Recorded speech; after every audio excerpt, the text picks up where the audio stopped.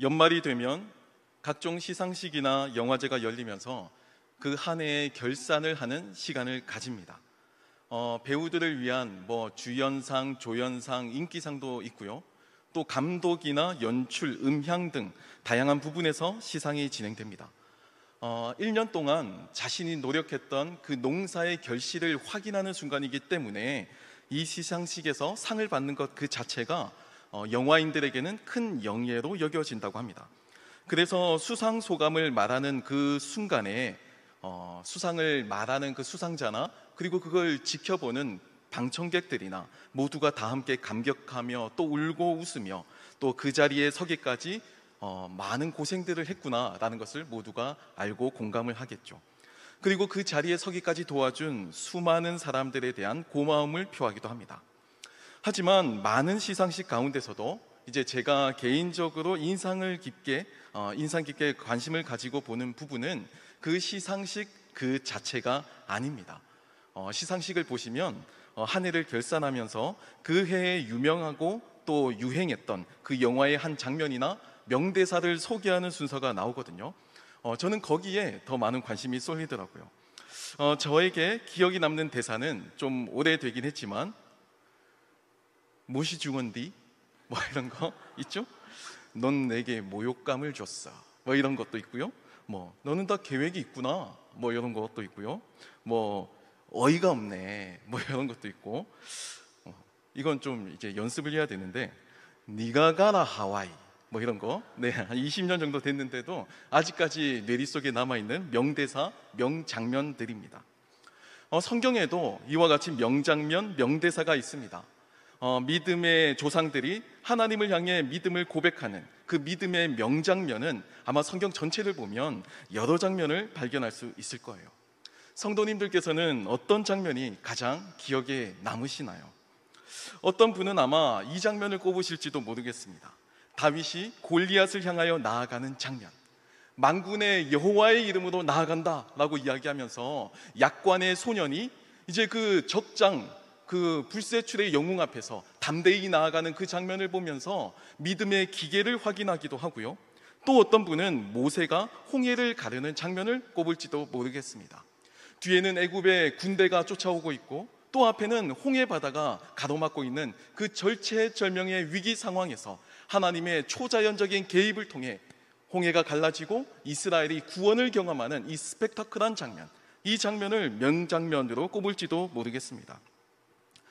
또는 신약에서 이제 베드로가 예수님을 향하여 주는 그리스도시요 살아계신 하나님의 아들이십니다. 라는 이 고백, 반석이라고 이름을 불리는 바로 이 고백, 이 신앙 고백을 아마 명장면으로 꼽을지도 모르겠습니다.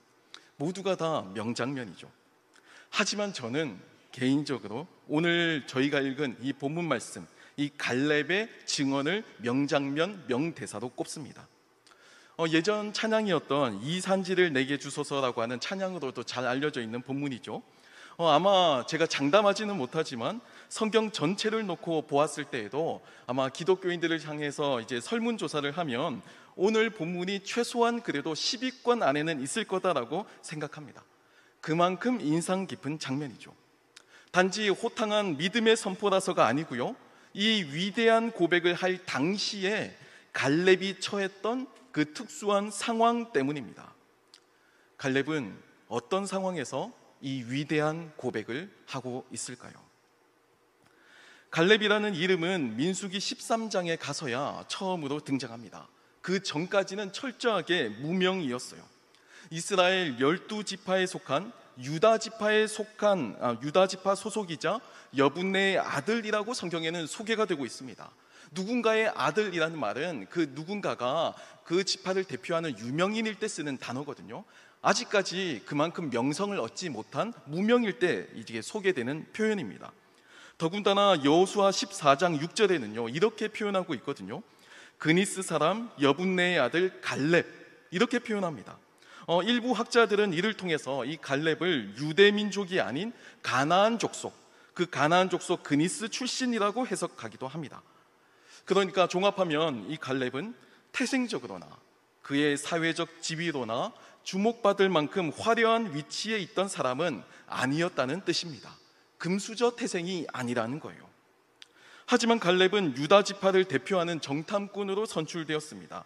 이것은 유다 지파 내에서 그 이 갈렙의 이 명망이 얼마나 높았는지 그리고 얼마나 광범위한 지지를 받았는지 알 수 있는 대목입니다. 이제 정복할 땅을 가는 그 초입이잖아요. 거기서 각 지파를 대표하는 이 정탐꾼으로 선출되었다는 말은 그 정세를 객관적으로 바라보고 분석하고 또 지파들에게 설명할 수 있는 그런 객관적인 역량이 입증된 사람을 뽑아야만 합니다. 그 지파에 이제 존망이 걸려 있는 그런 중대한 결정을 그에게 위임을 하는 거예요. 그런 사람을 믿, 믿지 못하는 어떤 능력이 부족한 사람을 함부로 세우지는 않겠죠. 그러니까 이방 민족 출신인 갈렙이 유다 지파에 대표하는 정탐꾼이 되었다는 뜻은 그가 얼마나 이 유다 지파 내에서 어, 최선을 다해서 살았는지 잘 보여주는 예라고 할 수 있을 겁니다. 특별할 것 없는 출신이지만 아니 충분히 차별받을 만한 환경에서 태어났지만 그가 이 유다 지파 내에서 얼마나 믿음과 또 신앙으로 신실하게 살았는지 잘 보여주는 대목이라 할 수 있습니다. 갈렙이 처음 등장하는 민수기 13장에는 이스라엘 백성이 가나안을 정복하기 전에 먼저 정탐꾼을 보내는 장면이 기록되어 있습니다. 각 지파별로 한 사람씩 뽑아서 정탐을 보냈죠. 성경은 이들 이 열두 지파를 대표하는 정탐꾼의 이 신상을 자세하게 소개하고 있습니다. 누구 지파에서 누구의 아들 누구가 대표였다. 이러면서 12명을 차례차례 소개하고 있습니다. 역사적인 기록의 한 페이지를 장식할 만한 이름이 될 뻔했어요. 끝끝내 명예로운 이름으로 남을 뻔했어요. 하지만 하나님께서 약속하신 땅, 그 땅을 앞에 두고 이제 본격적으로 시험대 앞에 놓인 이스라엘을 대표하는 이 리더십들은 처참하게 실패하고 맙니다. 그리고 영광스럽고 명예스러운 이름보다는 수치스럽고 그리고 불명예스러운 명예만을 안게 되었죠. 그들의 정탐 보고가 절망적이었기 때문입니다. 민수기 13장 33절은 그 믿을 수 없는 절망적인 정탐꾼들의 고백을 생생히 우리에게 들려주고 있습니다. 제가 읽어드리겠습니다. 거기서 네피림 후손인 안악 자손의 거인들을 보았나니 우리는 스스로 보기에도 메뚜기 같으니 그들이 보기에도 그와 같을 것인니라. 여러분 이것이 열 지파를 대표하는 엘리트들, 엘리트 중에서 또 선발된 엘리트들이 내린 결론이었어요. 그들은 스스로를 메뚜기 같다고 여겼고요. 이 전투는 아직 시작도 되지 않았지만 이길 수 없는 전투, 승산이 없는 전투라고 결론 내리고 있었습니다. 싸우기도 전에 이미 사기가 바닥을 기고 있었고요. 이미 패배했다고 여겼습니다. 절망과 낙심이 가득한 상황에서 한 사람 갈렙만이 우리는 그 땅을 정복할 수 있노라고 외쳐댔지만 나머지 10명의 정탐꾼들의 반대에 묻히고 맙니다. 그리고 그 결과 이들 출애굽 1세대는 가나안에 들어가지 못하는 파국을 맞이하게 되죠. 이스라엘 역사상 어, 처음으로 마주했던 어, 기록에 남을 만한 실패의 역사였습니다. 모두가 가나안 사람들을 보고 두려워할 때 오직 두 사람 갈렙과 여호수아 이 두 사람만이 하나님을 의지하며 믿음을 선포합니다. 하나님께서 우리와 함께 하시면 우리는 그 땅을 정복할 수 있습니다. 이게 그들의 고백의 내용이었어요.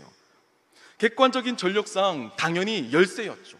분명히 그 가나 민족은 이제 방어하는 입장이고 공격하는 입장은 그보다 훨씬 더 군사력이나 모든 면에서 더배 어, 에너지가 필요합니다. 당연히 열세라고 보고하는 게 맞는 거예요. 하지만 갈렙과 여호수아는요 그 앞에 보이는 문제들 걸림돌들 어려움보다도 그것보다 더 크신 하나님을 발견할 수 있는 믿음을 가지고 있었습니다. 그 문제와 어려움과 걸림돌보다도 더 크신 하나님을 신뢰했고요. 또 무엇보다 하나님의 약속을 철저하게 믿었습니다. 이 가나안 정탐 보고는 현실적인 문제를 뭐 외면하거나 아니면 현실과 동떨어져서 혼자만의 상상, 그 공상, 현, 환상 속에 사는 그런 이야기를 전해주는 것이 아닙니다.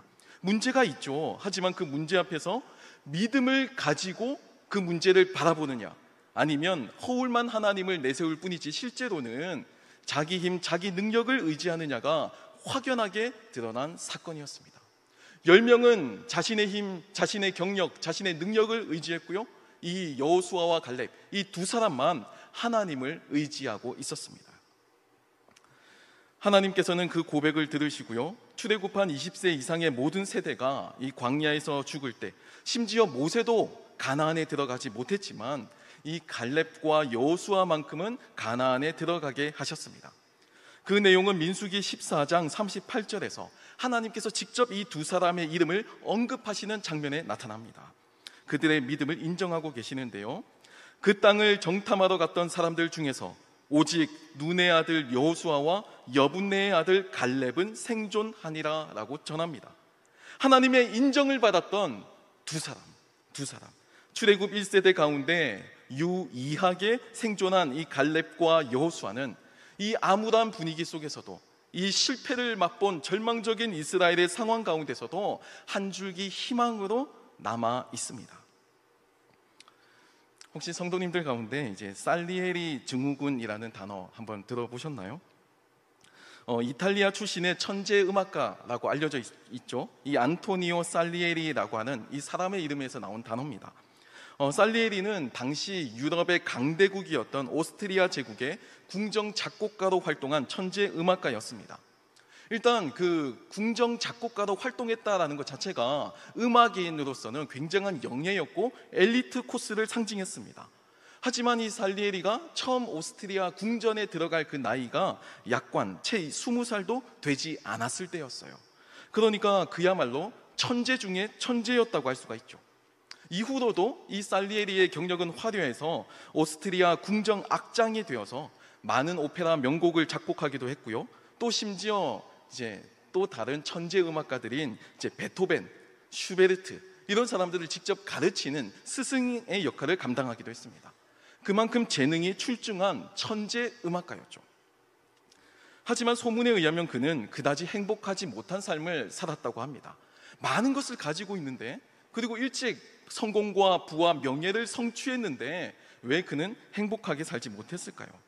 왜냐하면 그와 동시대에 또 다른 천재 음악가가 있었기 때문입니다. 그 천재 음악가의 이름은 네, 볼프강 아마데우스 모차르트 35세에 요절한 천재 음악가였습니다. 살리에리가 엄청난 천재였고요. 또 어린 나이에 성공해서 막대한 부와 명예를 가졌지만 그는 결코 모차르트의 재능을 따라잡을 수 없었다고 합니다. 여기에서 이 살리에리의 이름을 따서 살리에리 증후군이라는 말이 나오게 된 거예요. 이 단어는요, 1인자를 질투하고 시기하는 2인자의 심리를 가리키는 용어입니다. 사실 살리에리에 대한 이런 소문은 오해라는 게 정설입니다. 살리에리는 실제로 높은 인품을 가지고 있었고요. 또 그 당시 많은 사람들의 존경을 받고 있었습니다. 뭐 모차르트와 여러 가지 해프닝에 대한 이야기들이 있는데 이것도 모차르트만의 착각이라는 게 사실상 정설이에요. 어찌되었든 어찌되었든 이미 많은 것을 내가 이미 가지고 있으면서도 여전히 만족하지 못하고 더 큰 것, 더 많은 것을 갈망하는 그 이인자의 삶, 그 삶의 의미를 이 살리에리 증후군이라는 단어가 잘 설명하고 있습니다. 이 단어는 우리가 살고 있는 세상, 이 세상에서 엄연히 존재하고 있는 이 이인자 컴플렉스를 잘 보여줍니다. 인간은 결코 이인자로 만족하지 못한다는 겁니다. 내가 아무리 많은 것을 가졌어도 1인자가 되지 못하는 한 나에게 언제나 그 결핍이 있고 이 결핍 속에서 어, 전전긍긍하며 살아가게 된다는 거예요. 오늘 본문의 갈렙도 성경에 나오는 대표적인 이인자입니다. 출애굽 첫 세대에서 유이하게 생존한 두 명의 인물 제가 설명해 드렸죠. 갈렙과 여호수아였습니다. 그 두 사람 가운데 여호수아가 모세 이후 이스라엘을 지도하는 지도자가 되었습니다. 그리고 여호수아가 이스라엘의 지도자가 된 이후 신기하게도 갈렙의 행적은 성경에서 거의 전무하다 싶을 정도로 나타나지 않아요. 철저하게 잊혀진 존재, 철저하게 무명으로 갈렙은 존재했습니다. 동일하게 믿음의 고백을 했습니다. 하지만 한 사람은 모세 다음 가는 지도자가 되었고요. 또 한 사람은 성경에서 거의 등장하지 않는 그런 무명으로 삶을 살았습니다. 사람이 질투도 나고요. 화도 나고 그러잖아요. 우리가 생각할 때 2인자 정도면 충분히 만족할 만한 삶이라고 생각할지도 모르겠지만 원래 인간은요. 2인자로 만족할 수 없게 되어 있습니다. 이 살리에리 증후군이라는 단어가 괜히 생겨난 단어가 아니에요. 인간은 원래부터 본성상 시기하고 질투하고 무언가를 욕망하는 존재라는 겁니다. 인간은 이미 가진 것을 보고 만족하는 것이 아니고 늘 비교하면서 나에게 없는 것에 괴로워합니다. 그게 인간이에요. 그래서 이인자는요, 역사적으로 보면 늘 라이벌이자 경쟁자가 됩니다. 권력에 대한 잠재적인 위협으로 여겨져서 권력자에 의해서 숙청의 대상이 되는 경우가 많습니다. 하지만 갈렙은요, 이스라엘 역사상 전혀 여호수아의 라이벌이나 경쟁자로 나타나지 않습니다. 오히려 여호수아가 마음껏 그 지도력을 펼칠 수 있도록 철저하게 순종하고 또 숨어서 살았습니다.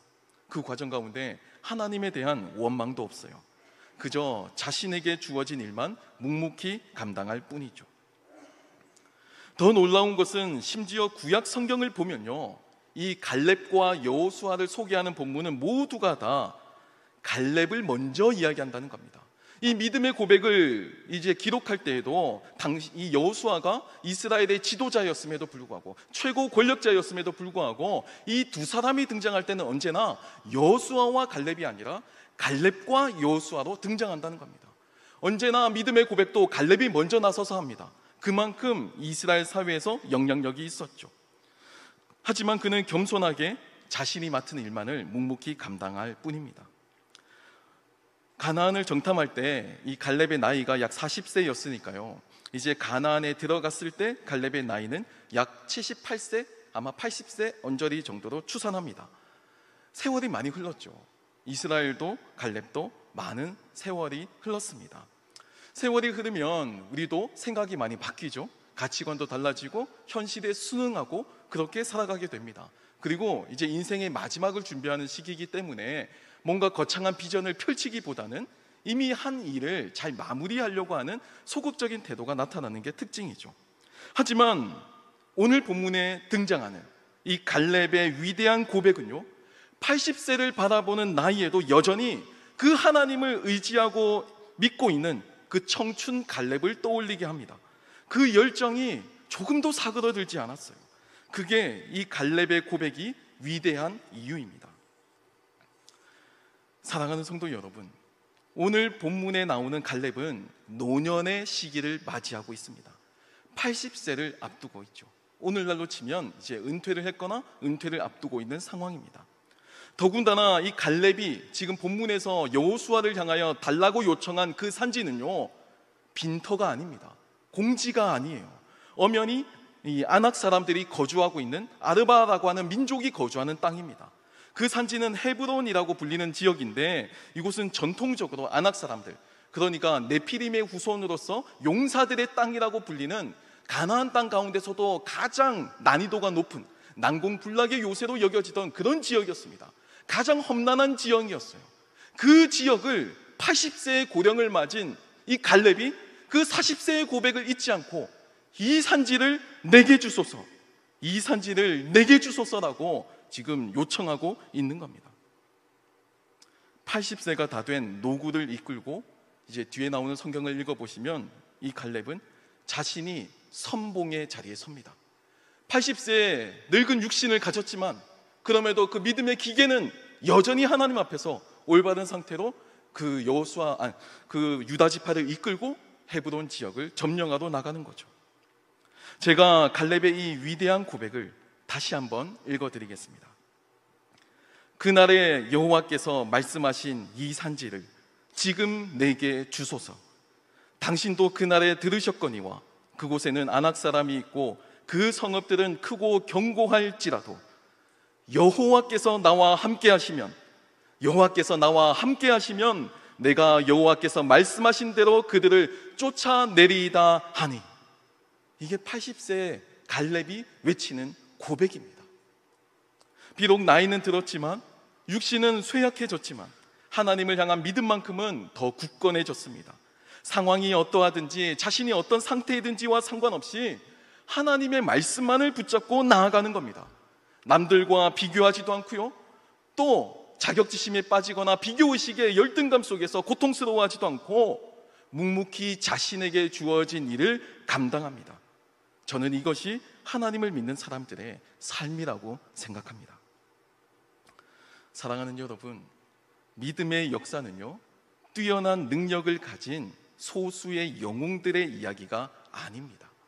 물론 우리 주변에는 뛰어난 능력을 가진 영재들, 정말 재능을 따라잡을 수 없는 타고난 인재들이 있습니다. 하지만 모차르트나 살리에리와, 살리에리와 같은 천재들의 이야기로 이 믿음의 역사가 쓰여져 있지 않습니다. 이 믿음의 역사의 대부분은 이름, 도 없고 빛도 없이 하나님을 사랑하고 또 교회를 섬기는 평범한 저희들과 같은 사람들의 이야기로 꾸며져 있습니다. 세상의 화려한 평가가 아닐지라도 내가 여호수아와 함께 믿음의 고백을 했었는데 여호수아만 지도자가 되고 나는 철저하게 무명으로 살았다고 이렇게 불평하고 불만하는 삶이 아니라 비록 섬기면서 실망할 때도 있고 서운할 때도 있고 상처받을 때도 있지만 하나님께서 모든 것을 알고 계신다는 그 믿음으로 오늘 나에게 주어진 이 섬김의 자리, 오늘 나에게 주어진 이 역할을 묵묵히 지키며 성실하게 살아나가는 그 저력이 필요하다는 겁니다. 오늘 지금 이 순간 우리들의 삶의 자리에서 그리고 가정과 직장의 자리에서 하나님을 향한 우리들만의 이 위대한 고백을 하는 저희들이 되길 소망합니다. 꺾이지 않는 믿음으로 어떤 상황에서도 하나님만 의지하는 갈렙과 같은 이 위대한 고백이 우리 모두의 고백이 되길 기도합니다. 기도하겠습니다.